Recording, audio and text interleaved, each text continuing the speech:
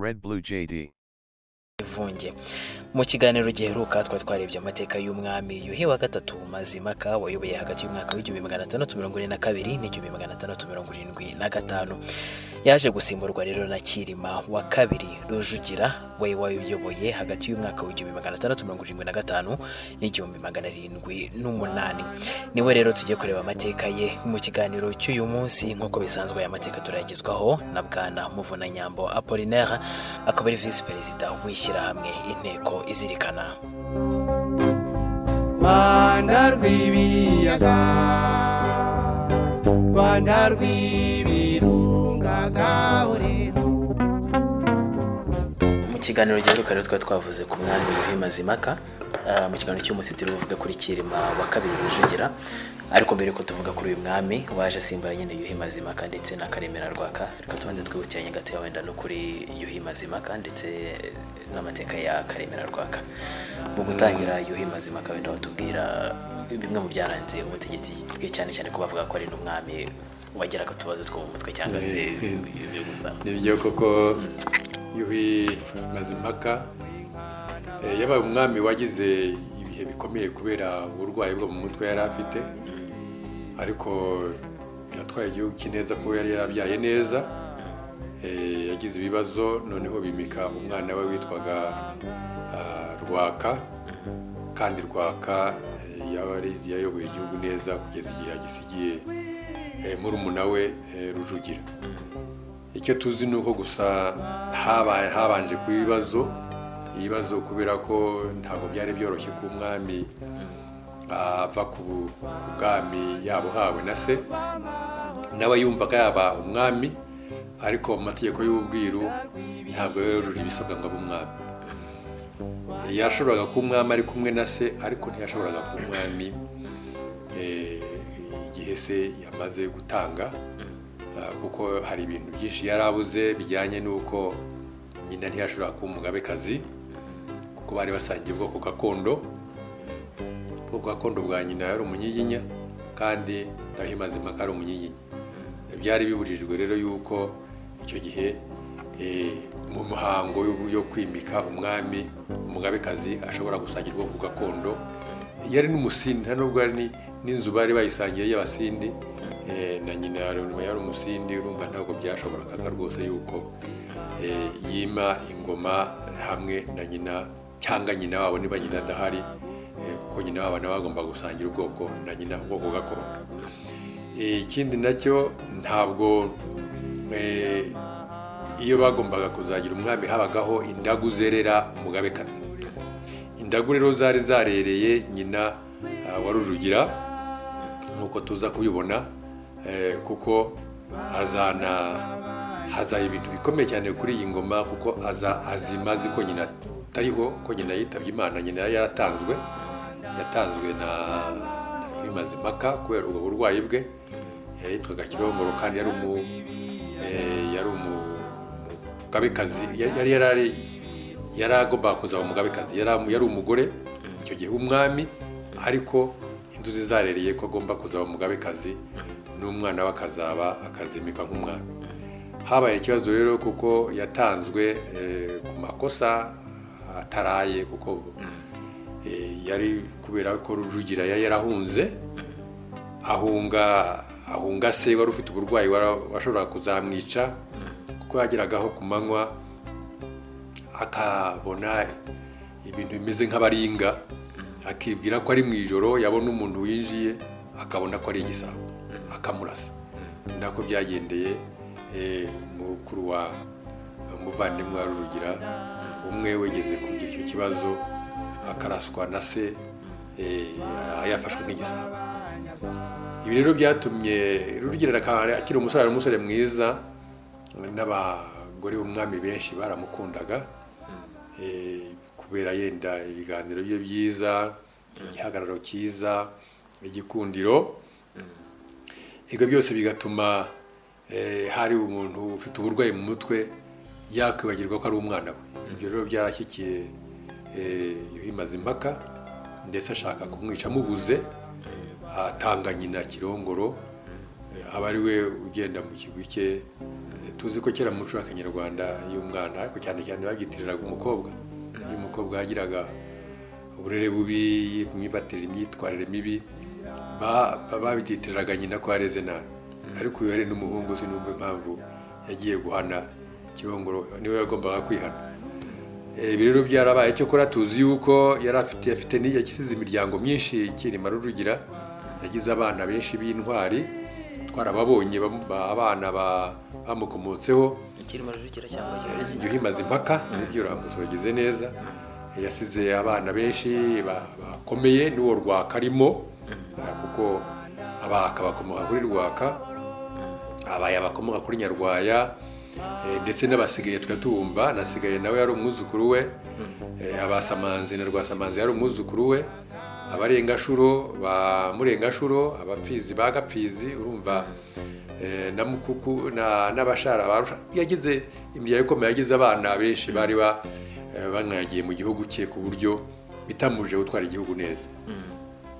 Ibyo rero byatumye habaye n'ibintu byinshi twibukiranije cyane cyane ni ho imyenda yabonetse yaje mu rwanda. Eh, ni ho habaye ubucuruzi bukomeye hagati y'u rwanda n'ubujinja na tanzania. Yari cyari cyari kitaraba Ta- tanzania tanzania bijubu ni kera mbere hakiri.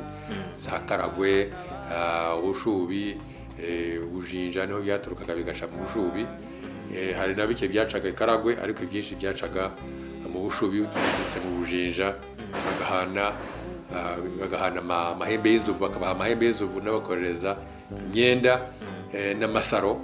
Icyo gihe bayitaga eh, ba- bafite n'imizi ntibabitaga ariko babitaga bitaga ama- amasaro eh, kuko twibuka. Kera atari amasaro ariko twibuka ko ku ngoma ya rwabugiri bavugaga ko kunywera mu rusaro byabaga ari ibintu bikomeye cyane. Urusaro rwari icupa. Hari amacupa bozaga meza cyane yavuye aho ngaho nyine eh, muri ubwo bucuruzi bakayagurisha ayo macupa ah, bakagira ngo bakayita urusaro. Rwabugiri yanyweraga mu rusaro igicupa icupa ryiza ryogeje kugira ngo unywere mu rusaro bagombaga kubura intwari umuntu w'umutwaro ukomeye. Wenda Eh, igihugu rero cyabo tuzi ukuntu cyari kimeze cyari igihugu eh, kinini kuri himaze impaka. Eh, twarabivuze ubushize nta gihugu yaguye. Igihugu cyari ya- ya- yarazwe n'igihugu se kiguma uko cyari kimeze uko twakivuze ubushize. Ntacyo twakongeraho. Tuzi gusa ko yatewe n'umwami w'u Burundi witwaga ntare wa gatatu kivimira. Ariko nta kiramutwaye kuko yaguye nyaruteja yaraje. Umwami ararwara yishwe n'indwara ntabwo ari we wamwishe ariko nyine babishyira mu- bisigo ko ari wamutsinze akaba yarazize eh, ubuhangange bwa yuhimaze impaka ariko si byo n'uburwayi busanzwe yararwaye aratanga. Ubwo wari urimo kuvuga rero uko kurwana kw'abarundi n'abanyarwanda ah, nkeka yuko biza no kugaruka no kuri ingoma ya Eh, ahubwo ni ho biri bukomere cyane Eh, mbere yuko wenda tugera kuri iyi ngoma ya Cyilima Rujugira twari tubonye yuko ah, Karemera Rwaka yari arimo kuyobora u Rwanda mu gihe ah, Yuhi Mazimhaka yara- yari afite bya bibazo byo mu mutwe by'ubusazi. Ese mu rero tubwiye yuko haje kubamo n'akabazo ko Karemera Rwaka yabanje kwanga kurekura ubwami. Eh, na byo wabitubwiraho gatoya ukatubwira noneho n'uburyo ah, aza kuburekura ndetse n'u- n'uburyo ah, Cyilima Rujugira yaje kwimikwa. Eh, ni byo koko eh, karemera eh, wa mbere kuko iryo zina twavuze ko barimwitiriye kuba ryari izina ry'ubwami ryari izina eh, ryari mu masezerano yagizwe hagati ya karagwe n'u rwanda ku gihe cya ruganzu ndori ibyo rero byatumye barimwita ariko kugira ngo barangize amasezerano ariko tuzi ko atari izina ryanditse mu mazina y'ubwami yacu kuko yatanzwe na mutara wa mbere semugeje amazina y'ubwami araza atanu ariko akagira ibihe bine akurikirana. Ubwo rero iryo zina rimwe amaze kwima ingoma hose amaze amariye gutanga yashatse kuguma ku bwami birumvikana. Ariko si we cyane cyane yari afite n'abana benshi bashyigikiye ko yaguma ku bwami.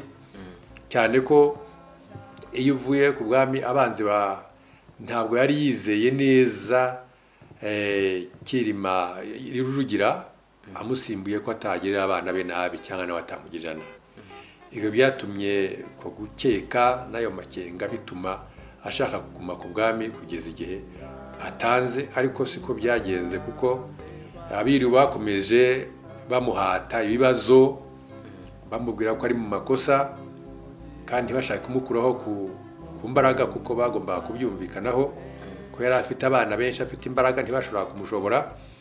Ariko yagezeho imana iza kubafashamo arwara indwara y'ikinyoro.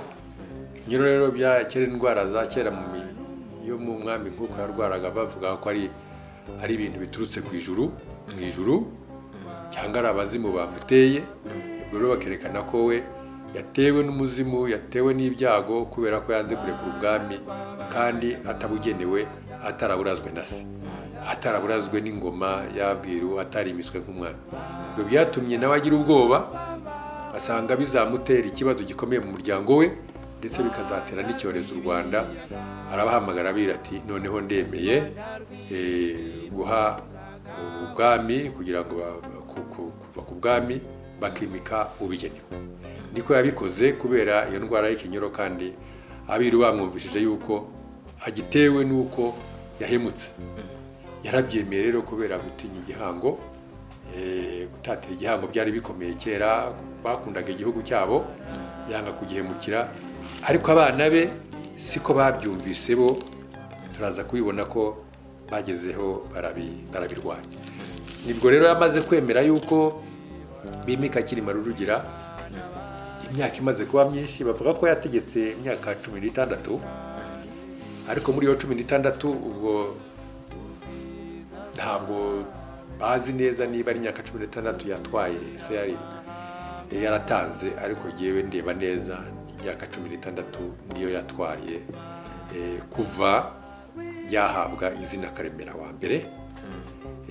Bigatuma rero iyo myaka iba myinshi ariko twavuga yuko hari imyaka yatwaye se amaze gutanga itari mikeya ni bwo rero bashoboye noneho kwimika rurugira bamwimika mu izina rya kirima. Wa kabiri kwabayeho kirima wa mbere kirima wa mbere rugwe. Ah, yimikwa mu kinyejana cya cumi na karindwi kirangira ni we wakirangije. Eh, ariko yimiswe ari mukuru kurumva ko yari afite abana yari yarahunze aragaruka yari mukuru nawe yari akuze ariko ntiyarakuze nka rwa kuko rwaka yari imfura ya se. Yari yari muto kuri we ariko nawe yari umugabo mukuru. Yari afite abana. Eh, wavuze yuko mu kanya umugabekazi nyina wa kirima nawe ngo bari baramutanze ariko hari ukuntu uvuze yuko bishobora kuba batarigeze bamwica hari Eh, ni byo koko yamutanze mu burwayi bwe. Noneho bamuha uwagombaga kujya wari ushinzwe kujya kumwica cyangwa kumwicisha yitwaga busyeti yabaga ibwami ariko ashinzwe yari umutwa. Abatwa nibo bari bashinzwe kenshi na kenshi kujya kurangiza izo manza zo kwica. Batanzwe n'umwami. Ariko abiru hariya mu bumbogo hari abiru benshi. Mu bumbogo eh, bwa gakenke ni ho hari abiru benshi. Cyane cyane abiru b'abatsobe abiru b'abatege abo bose baza kubwira ubwo bumvikanye na busyeti bakeya kuko ibanga rigirwa na bake. Bati mujyana ariko urebe neza ntumuhebaho umuhisha. Ubwo yaragiye aramuhisha rero mu miryango itazwi imiryango idakomeye yenda umuryango wabo ntazi uwo ari we. Umuryango w'abiru wamushize mu ishyamba amashyamba u rwanda kera rwari amashyamba cyane. Tumenye ko ubu ngubu turi miliyoni eh, zirenga icumi ariko icyo gihe kuri icyo gihe ashobora kuba u rwanda rwari rutuwe na miliyoni imwe gusa. Umva bari abantu bake hari amashyamba.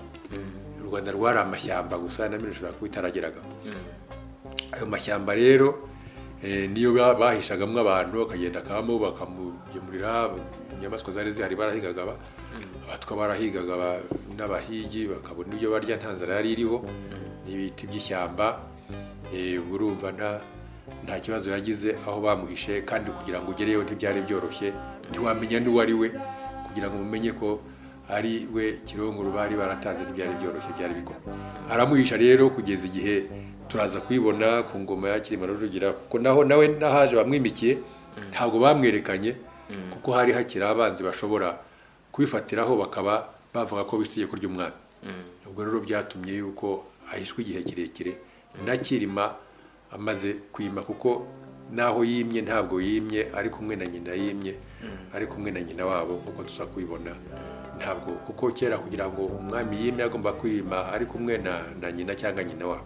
Nyina wabo ni ukuvuga ukomoka mu bwoko bwa nyina ah, basangiye ubwoko kuko yabaga ari ingoma yere yereye ubwoko bw'uwo mugabekazi niba ari umukono ubwo bwereye iyo nzu y'abakono niba ari umwega bwereye inzu y'abega niba ari aba- abaha ni inzu y'abaha Eh, ntabwo rero wafata uwundi eh, mugabekazi w'umutsindirano kuko atari nyina ukomoka mu bundi bwoko butari ubwoko bwa nyina w'uwo nguwo wimye ingoma ni ukuvuga ntabwo ari ngombwa ko babaga bafitanye isano rya hafi. Umwami n'umugabekazi. Ba Yaba mwami bati- n'ubugazi bagombaga kubatinya izaro rya hasi ariko hari n'izindi ashobora kuba hafi ariko aturuje aturuje ibyangombwa.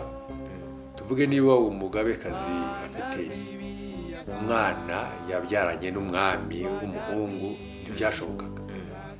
Yagombaga kuba ari nyina wabo udafite umwana w'umuhungu yabyaranye n'umwami eh, yagombaga kuba ari mu isano rya hafi ariko hari n'izo n'izo izo kondisiyo izo mpamvu zituma ibyo bintu bigomba byangombwa byagombaga kuba yujuje. Icya mbere umugabekazi w'umutsindirano yagombaga kuba ahuje ubwoko. Na nyina w'umwami adafitanye umwana w'umuhungu n'umwami. Ni ukuvuga ko yabaga byabaga byiza iyo yabaga nta n'umwana afite w'umuhungu. Eh, ah, ubwo rero ibyo ngibyo bashyiragaho ubyujuje kandi yawe uwo bashyizeho yari abyujuje we yanapfaga rimwe neza n'uwo mugabekazi ariko adafitanye umwana n'umwami kuko byaba byatera ikibazo kuko uwo mwana w'umwami yaba nawe afite uburenganzira bwo kuba umwami kuko nyina yaba yarabaye eh, umugabekazi agashaka rero ku kuba umwami akimana na nyina umugabekazi w'umutsindira uwo mugabekazi yitwaga gute? Kirongoro. Kirongoro. Biza kugenda gute noneho kugira ngo nyina w'umwami wa nyawe cyangwa umugabekazi navuga wemewe n'amategeko ajye kuri uwo mwanya koko yari agenewe. Eh, ukuntu byagenze eh, habaye intambara nyinshi nk'uko tuza kubibona eh, abarwanije kirima rujugira bene hari abana ba rwaka. Kuko eh, uwa mbere yabaye ibicura mwene rwaka wumvaga ari we wasimbura se. Bicura yatwaraga ubwanamukari ah, ni hariya mu majyepfo ubwanamukari kandi afite abayoboke benshi. Yiyemeje yiyemeje rero gufata intwaro intwaro kugira ngo arebe ukuntu ya yajya ku butegetsi ariko aratsindwa. Hari n'undi rero nawe witwaga nama mwene se wa rujugira nawe yari yiyemeje intambara yo kurwanira ingoma ariko nawe aratsindwa ndetse iyo ntambara ayi- ayigwamo. Ubwo rero eh, busyeti abona yuko abonye ko kirima rujugira amaze gutsinda abanzi be bose igihugu cyamuyobotse nta zindi mbogamizi nta muntu wamushobora.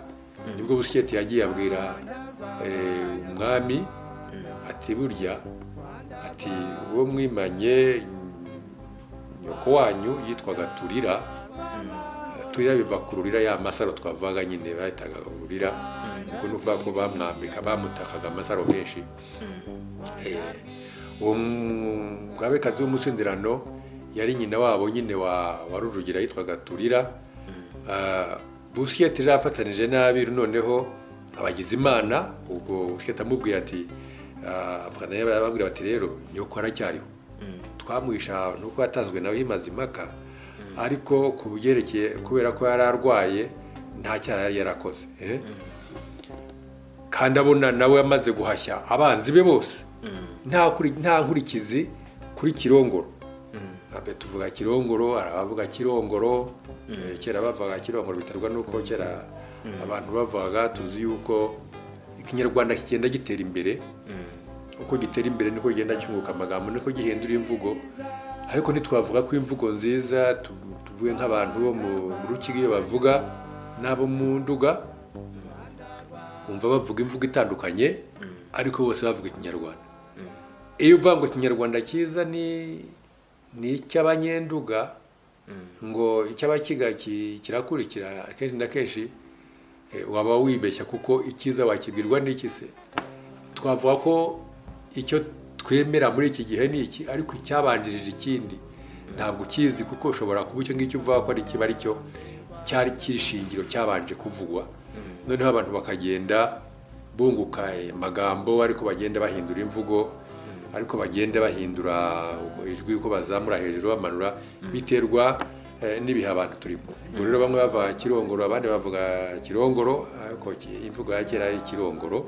Baheraga hejuru amagambo baheraga hejuru mm, kubera yuko eh, amazina menshi eh, rwabugiri ushobora kuvuga rwabugiri ariko ni rwabugiri babahera rwangombwa eh, rwanze igitero baheraga hejuru eh, eh, eh, ubwo rero eh, we bakira bava kirongoro ngo kiro kiri busikete abonye yuko kirima yarangije yakorugira yarangije guhashya abamurwanyaga bose. Asanga nta kurikizi zo kuvana kirongoro mu bwihisho. Yari amazemo imyaka myinshi. Turabizi ko yari amazemo imyaka myinshi.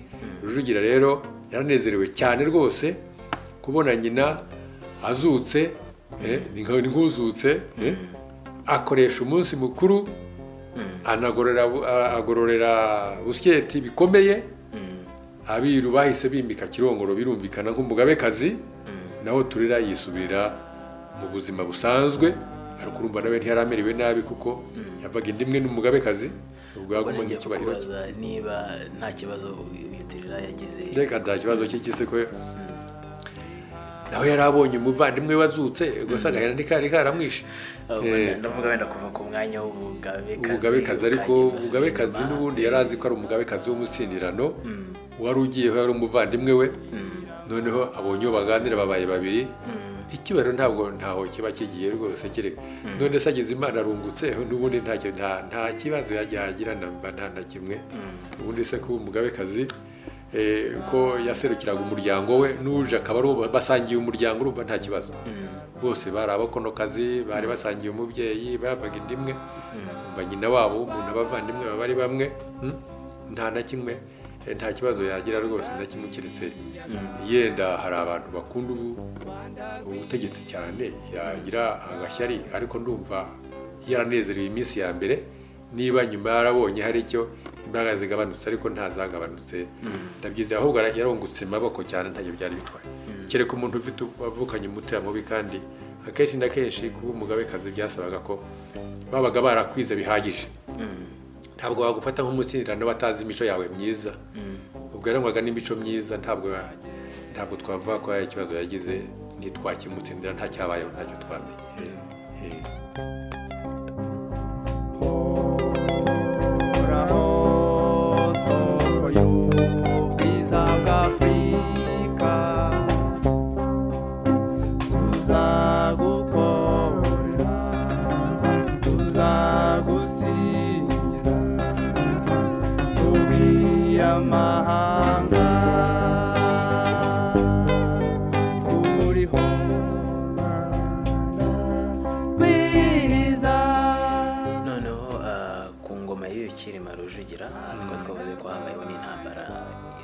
Hagati ye na- n'abarundi na byo mwabitubwiraho byatewe n'iki? Eh, ariko ntiturangije. Ubusiyete ubwo nyine yari twavuze ko yagororewe nawe. Agororerwa kuba eh, umuntu w'igitangaza bamuha imisozi bamuha ibintu byose kuko ya- yahishe umugabekazi. Noneho ah, ndetse eh, bamushyingira aba- abakobwa baraha ibwami beza. Ni ho aba- ni ho aba- imiryango y'abasiyeti ukomoka babita abasiyeti ariko ubundi eh, inkomoko yabo bwoko gakondo bwabo bwa mbere bwa kera na- ni abatwa ariko inzu yabo bita abasiyeti abasiyeti si inzu ni nako si ubwoko ni inzu. Ubwo rero twavuga ko ari abatwa abasiyeti ariko inzu yabo abasiyeti ndetse bi- biswe abatutsi mu gihe cya mirongo itatu na rimwe cyangwa na mbere kuko bari abana b'ibwami birumvikana bari bakomeye. Warumbaje rero ikijyanye ni- n'intambara eh, kirima rurugira amaze kuba umwami amaze gukomera eh, yaje guhura n'ibyo bibazo bikomeye tugiye kuvuga byo gu- gukoranirwa n'abami b'ibihugu bimukikije. Eh, uhereye kuri na- naho yari yarahungiye kuri kimenyi wa kanegetura w'igisaka Eh, kandi yari amaze kubona ko nawe afite ingufu umwami wa kimenyi nawe yari amaze kugira ubucuti n'ibihu na- n'abami bamukikije cyane cyane eh, kuri ntare wa gatatu w'u Burundi mm. yari yararongoye umukobwa we. Tuzi ko ntare wa gatatu kivimira yari yara yari yara- yaratanze ariko yarabaye igihangange yari yarashyingiye rero Geturu umukobwa Geturu ah, kimenyi umukobwa we urumva yari akomeye yari afite u- umugore ukomoka mu Burundi. Kandi ngo kimenyi nawe yari amaze no gushyingira umwami wo mu ndorwa eh, witwaga eh, gushyingira umukobwa we witwaga umwami witwaga haya wa kabiri wo mu ndorwa Eh, na na nyina wa kimenyi buriya eh, nyina wa kimenyi eh, yakomokaga mu bugesera. Urumva yara ibyo bihugu byose byari bifitanye isano. Hari ubugesera burundi hari eh, ndorwa hari biriya bihugu byose n'uburundi byari bi- bimaze guhana bifitanye umubano ukomeye cyane kubera byarahujwe n'uwo nguwo kimenyi wa kane gitura kimenyi yararambye yamaze imyaka myinshi ku butegetsi. Aba bose rero bose barumvikanye ngo bazatere u rwanda.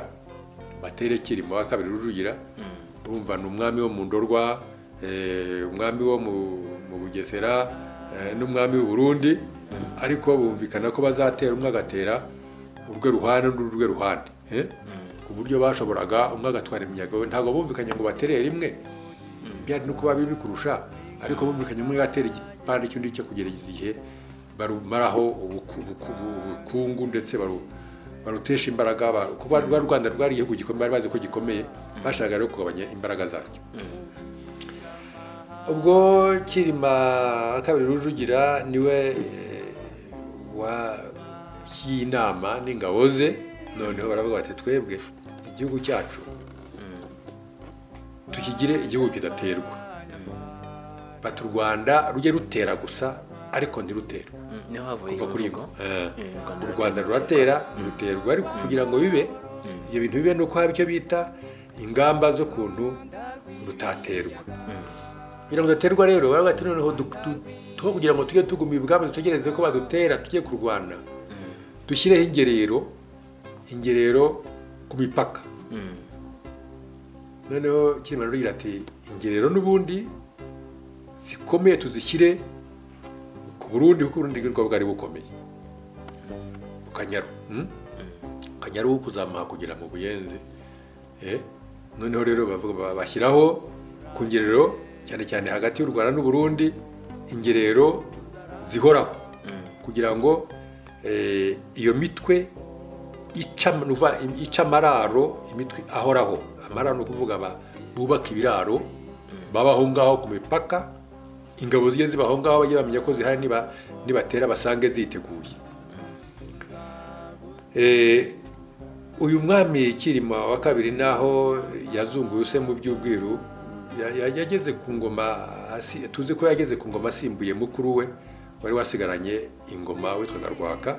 Kandi na rwaka nawe ntabwo yari yoroshye nawe ngo ibyo bintu yari yarabiteganije kuko twibuke ko bicura yari ku mupaka nawe ngo yajyaga ajya ku mupaka na- yanahungiye no mu burundi.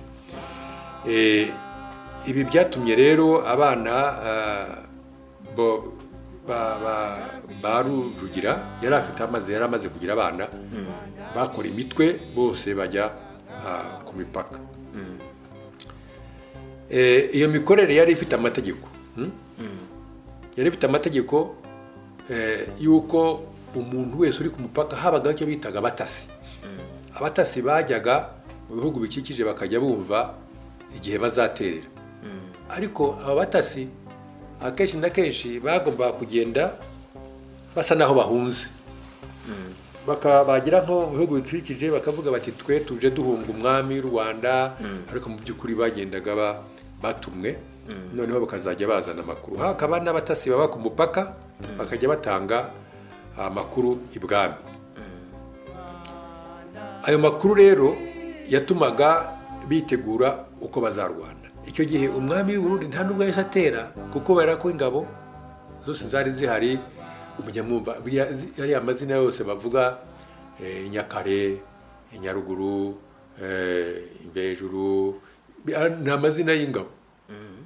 Ni amazina y'ingabo kera ubwo hari andi mazina. Inyaruguru ni am- ni ingabo zitwaga nyaruguru. Abashumba ni ingabo. Abashumba bo kuva kera bari bariho. Eh, ba- kandi bari ba- hariya mu- karere ka nyaruguru ariko ku karere ka nyaruguru uzi ko kafashe uduce twinshi kari kanini hari ahitwaga mu bashumba hitwaga muri nyaruguru ahitwaga mu buyenzi aho hose ni akarere ka nyaruguru ariko aho ngaho hari ingabo z'i nyaruguru hakaba ingabo z'abashumba zari aho bita kuri nyakizu hakaba ingabo z'i nyakare eh, zari mu gace ka hakurya eh, ku kanyaru ariko ahantu harebana na za ngozi eh, izo zari nyakare hakaba n'imbejuru izo ngabo zose bazishyira ku mipaka zigenda zi- zikikiza ah, akanyaru cyangwa ni akanyaru urebye kari akanyaru. Noneho zigategereza ko ingabo eh, zo z'u Burundi zitera ariko nta na rimwe zazangwa dusange izindi zititeguye zazaga zikagwa mu gico. Cy'abanyarwanda ndetse tuzasanga mu ngabo uwo bicura ya rwaka yarwanye cyane mu ngabo za z'abarundi kubera ko we yari yizeye ko abarundi bazamufasha akazafata u rwanda. Kuko yumvaga igihugu cya se atagihebera uwo se wabo eh, rujugira Nda- ndabona ibyiza twabanza yenda kureba kireba rujugira ukuntu yabiti yiteguye kuko eh, u rwanda rwatera ntiruterwa ariko mu by'ukuri hari igihe rwaterwaga nuko basangaga biteguye eh? Eh, icya- icyatumye rero uwo kirima rurugira aza no gushobora ku- kurwanya abo bantu akabashobora. Ni uko we eh, yafashe yafashe ingabo ze zitangira abarundi noneho abona uburyo noneho we ashobora kurwanya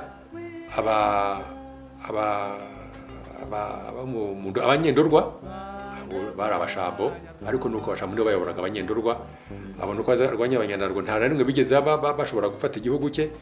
Ashobora no kurwanya aba aba aba abagesera ariko abaziranye b'abazirankende bari abanyagisaka turaza kubona yuko mu by'ukuri intambara nyinshi zabaye zarwanye zarwanywe n'umwa- n'umwana witwaga ndabarasa eh, yarwanye intambara ze nyinshi.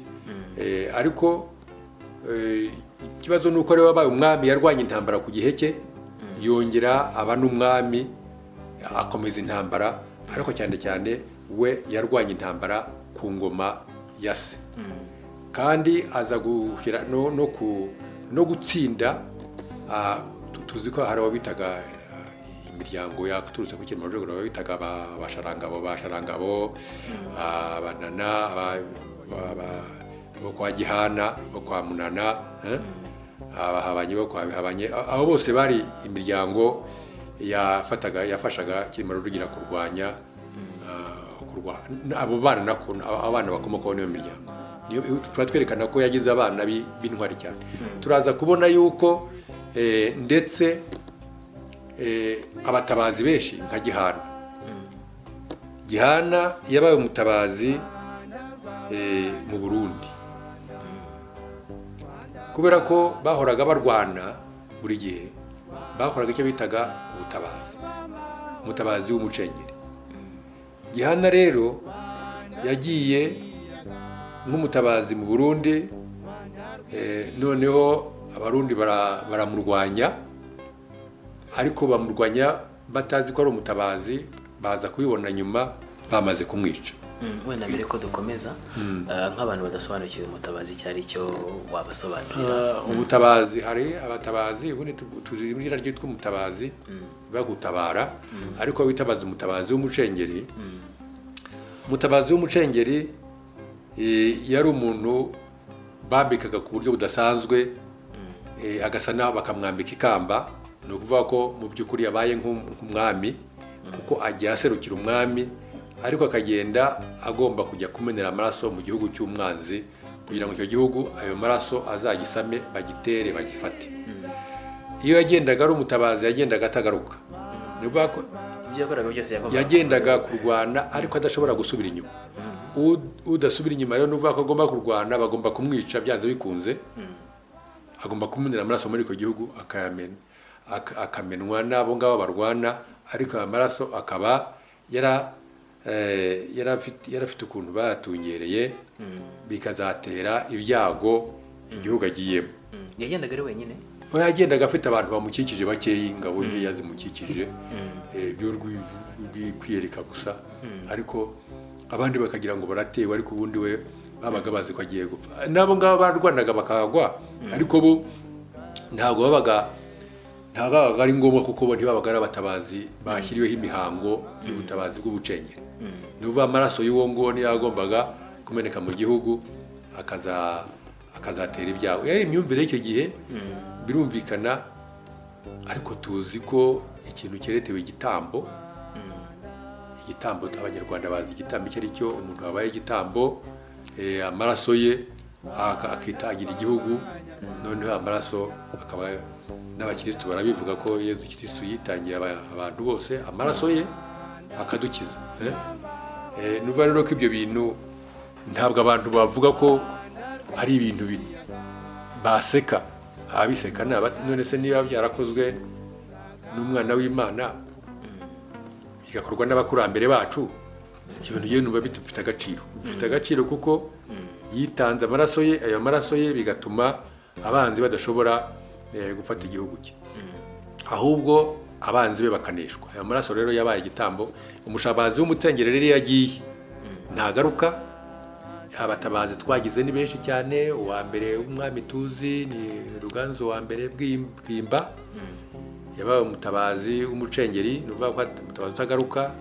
Ah, habayeho abo tuzi bitwaga eh, nk'abana ba gahima gahima wa kabiri eh, tuzi eh, abitwaga forongo abene abene forongo burya forongo yabaye umutabazi w'umucengeri nawe ya- yamenye amaraso ye ku buryo gasubira inyuma. Eh, abitwa bene hariyo gatambira ah, gatambira nawe yari mwene mibambwe wa mbere. Eh, uwo nawe yari tanze yabaye umutabazi w'umucengeri ariko reka tugaruke kuri gihana. Gihana rero we eh, ni umwana wa wa kirima rurugira wa kirima wa kabiri. Niwe wa- wabaye umucengeri eh, mu burundi. Abarundi ku gihe bagize ibyago kuko hateye inzara hatera amapfa ibintu biracika baza kubyitirira gihana. Kubera ko yari umwana w'umwami nabo bohereje abantu benshi kuba batabazi turaza kubibona mu mateka. Ariko bikanga bagasanga ibyo bintu bira- birabaye bi- bi- bibaye imfagusa. Imfagusa byatewe n'uko eh, baketse yenda bishobora kuba atari ukubera izo mpamvu ariko baketse yuko ari ukubera amaraso y'umwana w'umwami gihana. Eh, tuzabona ko ndetse n'i Burundi bagerageje kohereza undi kwakaza mu Rwanda eh, kugira ngo nawe amenere amaraso uwo muntu abanyarwanda bakamumenya ngo yiroshye mu, mu, kibumbiro cy'inka. Ariko baramuteruye bamujyana mu Burundi bamujugunyaho. Babanje bashyiraho uwundi nawe ubaye ba nawe amena amaraso ye ariko bamujyana ah, kuba ishyingura mu Burundi rwihishwa kugira ngo amaraso yose eh, ya- y'abatabazi ajye muri ku gihugu cya cy'aba barwanaga. Ibyo byatumye eh, babona icyorezo kigumye mu Burundi bavuga amaraso y'umwana w'umwami arakomeye cyane. Eh, ndetse muri iki gihe ndabyibuka yuko habaye ikibazo gikomeye cyane. Kubera ko umwami eh, umwami we w'igisaka yashatse gutera agahinda umwami w'u rwanda amwoherereza ngo inka zikamwa z'imbyeyi eh, mirongo itandatu ngo zo kumu eh, zo kumuha ko hari umwana we wi- witabye imana yitwaga gihana kuko kuri uriya mwami wo mu gisaka kimenye yumvaga gihana ari we uzasimbura se. Nibwo yamwa- yamwoherereje inka mirongo itandatu zihageze abantu batisaba kuba inka zihageze bagomba kwinikiza. Noneho bakajya bakazana ibyansi bagakama. Byagezeho rero eh, aho kugira ngo ba ba- bajye gu- gukama baranga. Banze gukama rero umwami abona yuko hari ubutumwa yamwoherereje. Nibwo bahise ba bumvikana n'uwo nguwo n'uwo n'u- n'uwo mwami wari uriho bati boherereza ubutumwa. Noneho ubwo butumwa nibugerayo. Nibugera eh, ibwami kimenyero aza kumubwira icyo. Icyo uko byagenze rero ba- bahamagaye abantu bakama inka baraza barakama ariko abandi babakoreye ikimenyetso eh, cyerekana ko ubutumwa babubonye ariko batanezerewe Eh, umwami w'i rwanda yaje eh, kwihorera kuko intambara zarakomeje hagati y'ibihugu byombi noneho baza gufata umwana w'umwami wa kimenyi. Eh, umunyeri twagayoboka se mwibuka izina rye tukayoboka ngira ngo cyangwa ntabwo ari yoboka umunyeri gihanga ntabwo nibuka izina rye. Baza kumufata. Mpiri bamuzana ibwami naye bamuca umutwe bamwoherereza igihanga. Bacyohereza kwa kwa kimenyi bamubwira bati dore uko turwana. Ha?" Icyo gihe rero urumva yari yarihoreye kuko yaramwese ati umwana wanjye yabaye umutabazi ariko uwawe we apfuye kubera intambara yatsinzwe mu rugamba. Ese muri izo ntambara zabaga hagati y'u rwanda n'abo bami ah, hari ubwo u rwanda rwigeze wenda rutakaza ubutaka bumwe bwari bufite cyangwa rwaratsindaga buri gihe u rwanda ntabwo rwigeze rutakaza ahubwo tuzi yuko eh, kuri iyi kuri uyu ndabarasa na se kuko ndabarasa ni we warwaniraga se yarwanaga ah, ayoboye ingabo ari kumwe n'itwa kamari noneho baje gufata eh, ubuganza n'u rwanda rwa gasabo. Aho kugira ngo ndetse eh, tuzabona turabona turabo turaza kubona nuko nako ndabivuze twa bagaruje kiriya gice eh, kigali aho twari tuyifite baza gufata rwanda rwa gasabo bafata n'ubuganza igisaka ntabwo cyafashwe kuko kizafatwa ah, ku ngoma ya mutara ya mutara ngira ngo wa kabiri rwogera. Ariko ba bahise bagaruza eh, igice cy'u- rwanda rwa gasabo n'ubuganza. Ndetse bagaruza n'igice cyo mu bu- cyo mu ndorwa kiriya cya giti. Ahantu hose hari imisezero y'abami ba kigeli. Urumva rero yuko aho kugira ngo u rwanda rutakaze ahubwo rwarungutse rwabatwaye ibice binini. Waravuze ikigeri ndabarasa ko ari we warwaniriraga cyane ise kirima rujugira ndibaza icyo gihe byari bizwi ko ari we uzaba umwami cyangwa bya- byari bimeze bite? Ku ngoma ya ya kirima iteka kirima eh, yari afite uburenganzira bwo gushyiraho umwana we. N'umwuzukuru akerekana samurago kuri rero kirima wa kabiri uriya kirima rujugira kubera ko kirima wa mbere yari yarabikoze yari yarimbitse kigeri mukobanya ashyiraho na sekarongoro ko ari we uzaba samuragwa we nawe yarabikoze yari yarashyizeho ndabarasa.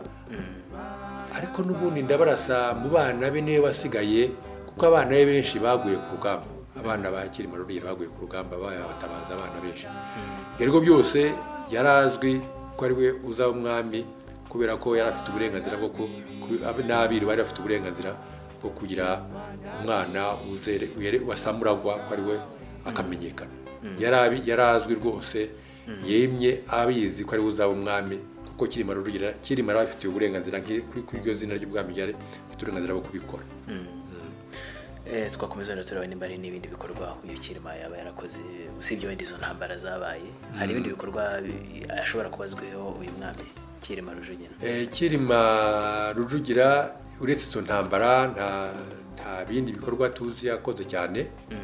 Eh, icyo tuzi ni uko ari we hari igikorwa yakoze yo ku yo turabona nka nk'uriya bitwa busiyeti ubundi kugira ngo ni ho tuza kubonera inzego ziri mu rwanda.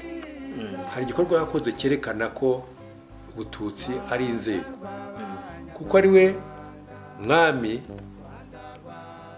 mu mateka tuzi wabishyize ku buryo ku buryo ku mugaragaro agafata umutwe wa akamugira umututsi. Kandi bikemerwa mu mateka abana bamukomotseho bakitwa abana b'abatutsi muri icyo gihe. Kuko babaye abana b'umwami. Kuvuga rero umututsi ni ukuvuga ko abaye umwana w'umwami agiye mu bana b'umwami agiye mu mfura zo hejuru mu rwego rwo hejuru urwego rwakurikiraga urwego rw'umwami. Kuko twavuga ko hejuru haba umwami n'umugabekazi munsi hakaba urwego rw'abatutsi munsi y'abatutsi hakaba abakonde hakaba aba- abagaragu hakaba abagererwa ah, hakaba abahutu. Izo zari inzego zari ziriho kera. Ariko ubu ngubu nyuma ku ngoma ya gikoroni izo nzego bafashemwo inzego eh, z'abatutsi eh, n'abahutu ari zo bagira amoko bashingiye ku mubare w'inka nk'uko tuzayibona eh, mu gihe tuzagera kuri iyo ngoma ya ya rudahigwa na, na se yuhi, yuhi musinga. Niho bashyizeho izo nzego ebyiri bazigira amoko. Noneho umuntu akagira amoko abiri ukaba uri umuzigaba ukagiye ukaba n'umuhutu cyangwa ukaba umututsi. Kandi mu kinyarwanda ntawe ugira ubwoko bubiri umuntu agira ubwoko bumwe. Iyo rero ugize ubwoko bubiri haba hari urujijo. Ariko abanyarwanda bari bazi ko atari ubwoko kuko barabwiraga bati bakandika ubwoko gakondo tuvuga umuzigaba munsi bakandika rase hutu cyangwa tutsi ku munyarwanda rero kwandika rase ko si ururimi rwacu yumvaga rase ari ikindi kintu. Wabyita urwego wabyita iki ibyo ngibyo kuri bo rase yabaga ari rase gusa ariko atari ubwoko yabaga afite ubwoko bwe gakondo. Umwami rero kirima rugira ni we wabwa ni we wa nyuma tuzi umwami babayeho eh, wafashe umuntu ariko si we wa nyuma kuko na nyuma byarabaye tuzabibona mu mateka ntabwo ari we wa nyuma n'uwo gusa ari we ari we wabigize abihaye umutwa.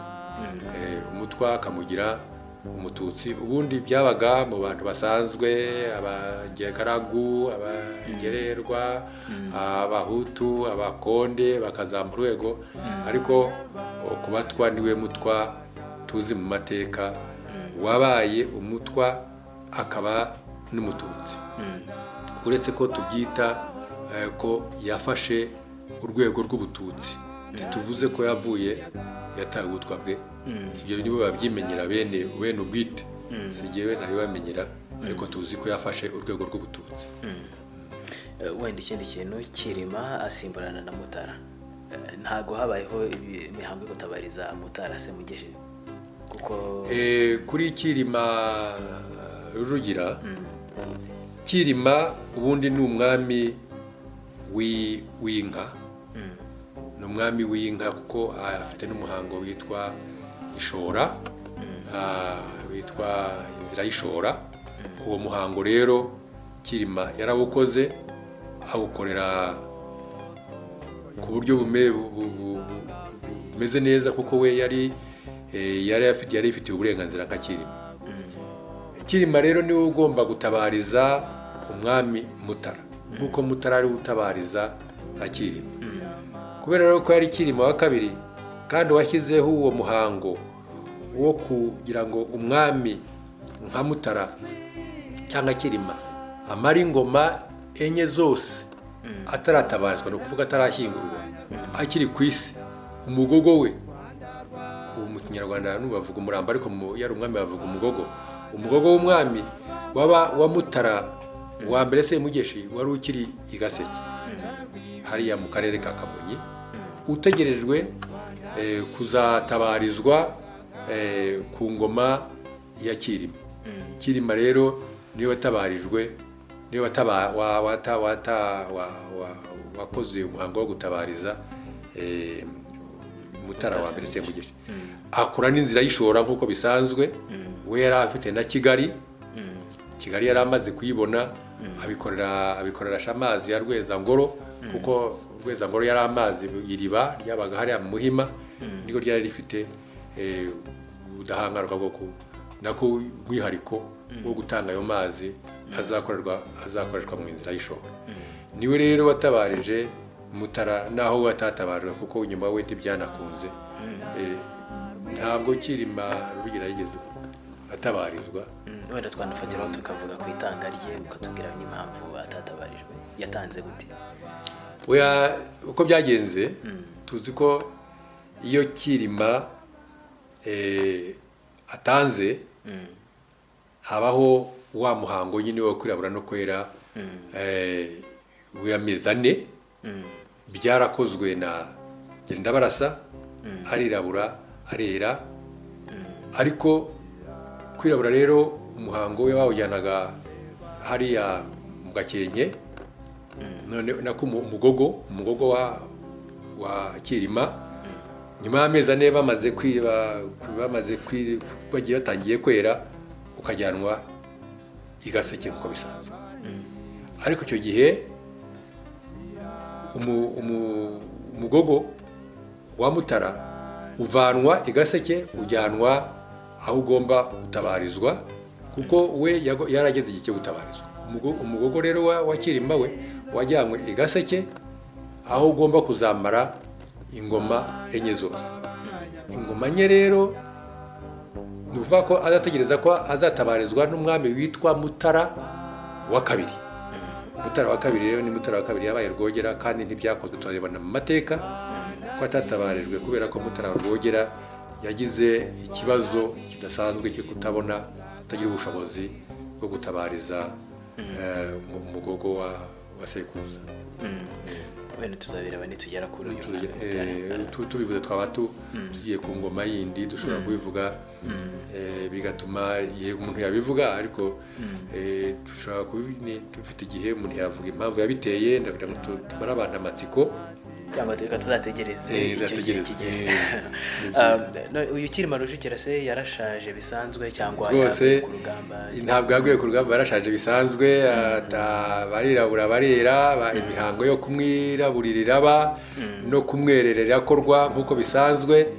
Eh, imiryango ye yirabura irera afite abana benshi bari baratabye imana ariko abo bana bari basize abuzukuru.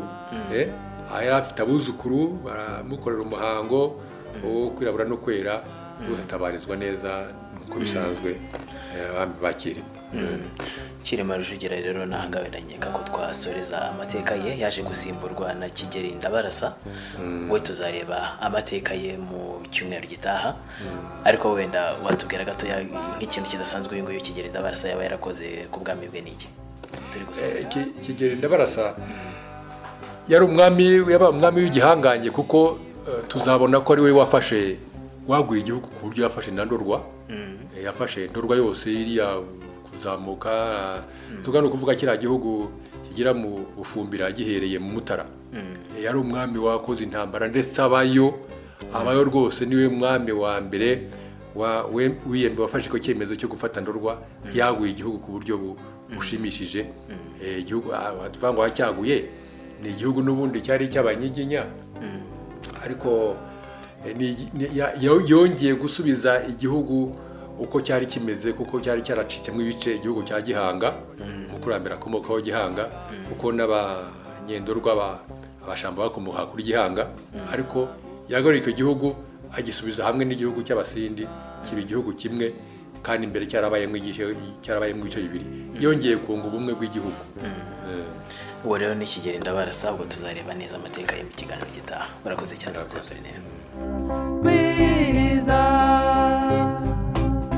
Red Blue JD.